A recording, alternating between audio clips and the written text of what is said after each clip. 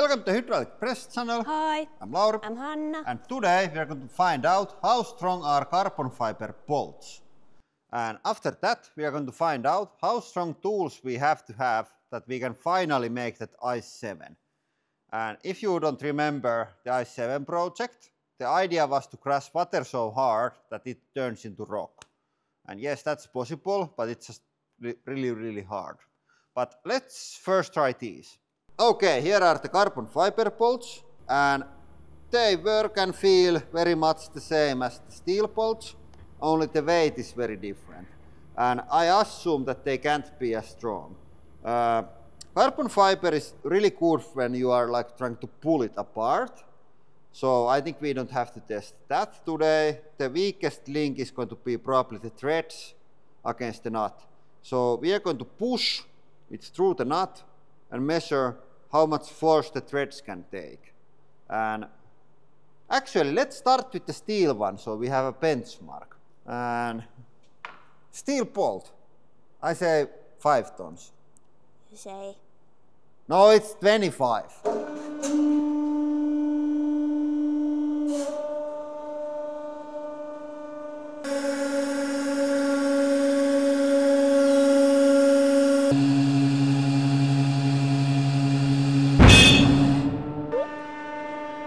Okay, let's see how much was it. 20 tons, not a bad guess. Yeah, you were quite accurate. We are going to throw in carbon fiber bolt. And these are sent to us from uh, Stanford Advanced Materials. And they have a lot of advanced materials there on their website. So please go check it out. And if you see something interesting that we should test, please let us know and we can propagate it here for a new video idea. There is a lot of those, like, like too much to choose from. That looks pretty good. How much? I say 12. 12. That's a quite a lot. I have never seen anything like this. Yeah, I haven't either. Maybe. I say 8. Okay, let's let's find out.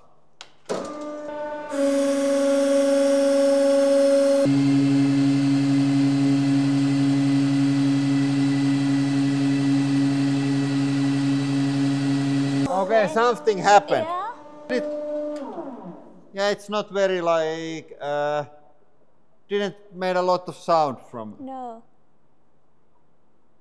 Yeah, and don't breathe carbon fiber dust. It's like asbestos of the future. no. Okay, maybe they are not very good on that direction, but I have a new test on my mind. Let's try on that because that was like axial load, and I think we should try like radial load. How much it takes to like cut it in half? Let's let's find out. Okay, now there is uh, one of these on middle of those nuts, and outer nuts are supported on top of these steel blocks, and then we are going to push push the middle one down. So we are going to cut this with radial load. I say two tons. Mm-hmm. How much you are going to say? 800.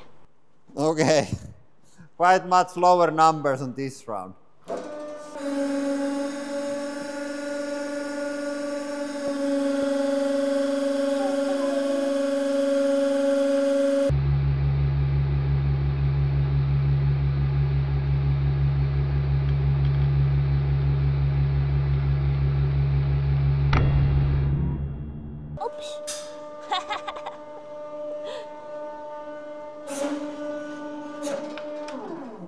Okay, did it snap in half?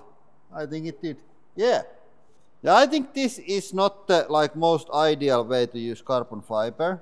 there is probably a use for this, otherwise they wouldn't make them. Mm. It might be something really, really, really specific. You can here nicely see the structure. I'm going to film that with the uh, Yeah. macro lens for your viewing pleasure.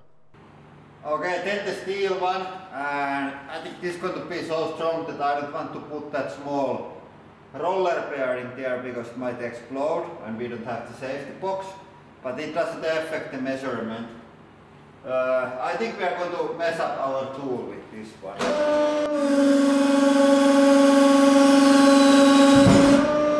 Okay. Oh. Was it the... We messed up the nut. Busted the nut. It really, it, it, it still works. Ah. It's like cola. It's, it's like snap in half. Yeah, I'm going to show macros also from this. I didn't expect this. Yep. Yeah, really interesting. Okay, but that's all with the bolts. Okay, science time. Here I have water phase diagram and here we have liquid and here is the temperature. We are around here, so it's liquid. And here on the left side we have cold and regular pouring ice. We don't want this. This is not good. We want to stay here where it's warm and go up in the pressure until we go over 2.1 gigapascals. That's science and means a lot. And to be safe, we want to go a bit even higher, like maybe 3 gigapascals. So that's 30,000 bars. It's 30 times the pressure on bottom of Mariana Trench. So that's a lot. Or 100 times the pressure of our deep sea chamber. that, that's a quite cool way to put it. So it's a lot of pressure. And because it's so much pressure, uh, our first try failed. The water just didn't stay inside. And now when we know how much of pressure we need, and I have had some time to think, it's pretty clear why our first try failed. I can show what was my first idea to make this. The uh, way how it failed is like this. I had a hole and there was some water and then I had piston that was bigger than the hole. And I thought like when I push that in, there is zero gap, so there is zero leaks. But when that this this goes to the bottom here, like this, the water pressure is so high that the steel is just too soft. It's like Play-Doh. And the water is going to just push the steel away and flow from there. So it doesn't work. And here is our new big brain science plan. We have again hole with water on the bottom. And then we have the piston.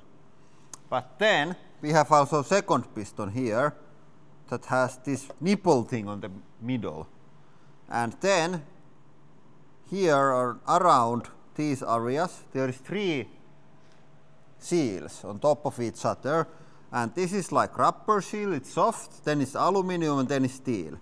And now when we start to push from here, like a lot, like about 200 tons, this is going to push down and just the seals, not this thing here, just the seals are going to take all of the force. They are going to deliver it to this piston and it starts to crush the water. And now it starts to of course leak from here, but because these seals, their surface area under the load is smaller than with the water because this thing here on the middle ain't doing shit. So these have higher pressure than the water. So these are like squeezed up and all mangled, mangled up against the cylinder walls and everywhere. So the water can't go there and the rubber one is going to be like completely destroyed, aluminum is going to be like bit of destroyed and the steel one is going to be almost okay.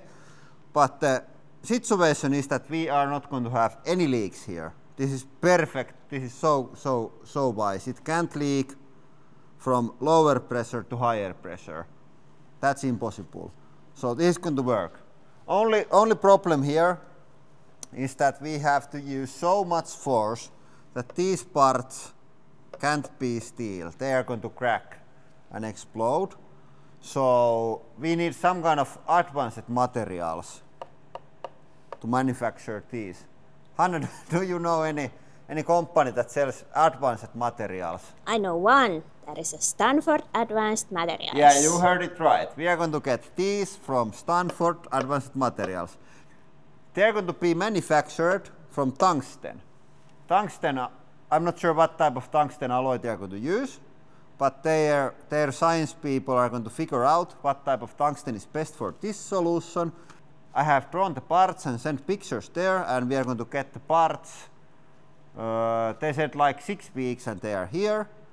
And we have more problems. This is going to be even more science because this is going to be crushed, these parts, and tungsten is great for that. But then the cylinder walls, it's going to be like stretched out, and tungsten might crack on there. So it can't be from tungsten, and we're going to use really high strength steel, but even that's not probably going to be enough. So we're going to do this trick, what the leak people are hating because this is going to prevent the leaks. We are going to make outer pipe here from one part of steel and then this is going to be a different part of steel. And we are going to make it in a way that the inner part is way too big for the outer part and we are going to heat up this to like a lot and then push in this with the press. So this is going to be squeezed hard from every side and then there's going to be a lot of stress on the steel already going in and then when we try to go out it's not going to go, it's going to work. Yeah, but enough of science. I want to see some stuff explode. So we are going to use so we're going to do demonstration what happens if we try to use steel here and not stressed steel here. So let's see how bad it could be if we don't use advanced materials. And if you want parts that are accurately machined from advanced materials, our DICE project is still going on. We have the Kickstarter page up and you can order your own CNC machined dice from there. And yes, we have the tungsten dice available we have actually bought 60 kilograms of tungsten, so we can make a lot of tungsten dice. And link to that is down in description. Go click it out there. Okay, here is the last time's piston material, and this is the last time's cylinder material. And we're going to put this here and add 30,000 bars. And we have our new lab assistants keeping eye on the experiment It's the Kelpop no brains. Yeah, it's uh, transparent. You see that he has no brains, unfortunately. Are you going to go like with, with this? Without, without any any? You can keep your. I can keep my hands. Okay, and safety glasses don't help if it goes through that window. okay, here it goes. Oh no! Oh, whoa! Oh! Oh! Oh! oh.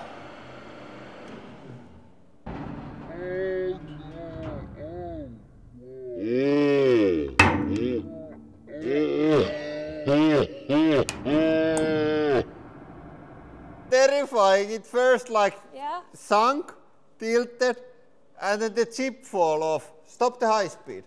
I think okay. Okay, okay. there wasn't anything. Yeah. Oh, that was terrifying. Yeah. Oh. It takes it takes some effort to do this. Mm, mm. And this it's is like a glove. This is really high strength, like chro chromo chromoduplenium steel. Mm. It's really hard stuff. I think we have to explode something. The setup yeah, is ready. Yeah. Okay, we are going to have competition. Me and Hanna both. Pick one item that is going to cause maximum damage to our lab assistants. I have mine ready here. Let's mm. go. Let's go. So this is uh, ball bearing middle with some extra seasoning. Ripped for maximum pleasure. It looks bad at least. Yeah, but also rules are that if this doesn't explode, Mm. Then it's zero points for me. Okay. So you have now two options. Go even matter or trust that this is not going to explode. Okay, I choose this. And I also add some extra seasoning.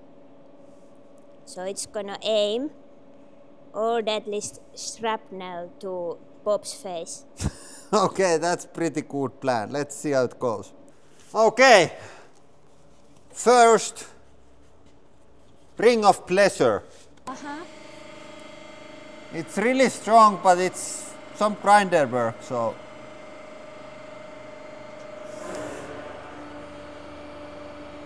Is it full pressure? Yeah, Ah, oh no! it didn't explode.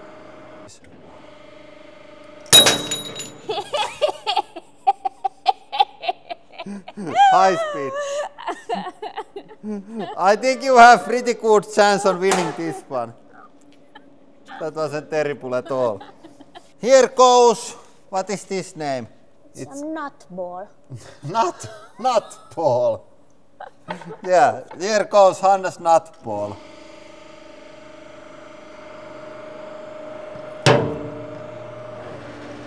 Uh-oh, it goes.